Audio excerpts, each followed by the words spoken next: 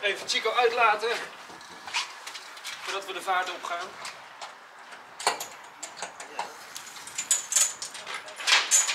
Zo. Ah, kijk werk met dat. Eh, Even kijken. Eh, is niet een beetje tricky?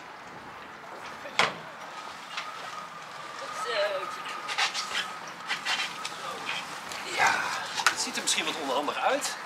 Maar ook daar krijgen we nog grappigheid in.